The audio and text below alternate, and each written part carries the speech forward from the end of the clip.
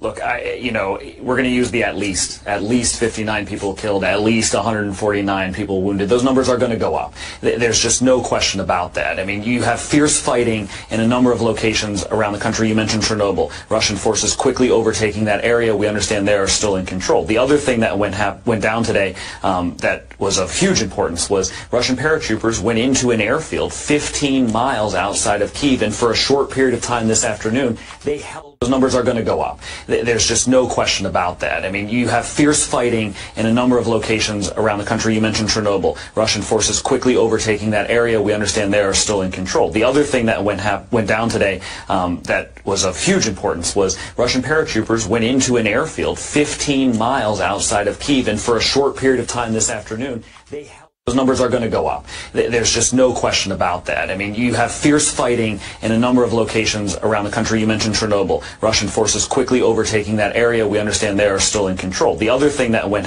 went down today um, that was of huge importance was Russian paratroopers went into an airfield 15 miles outside of Kiev, and for a short period of time this afternoon, they held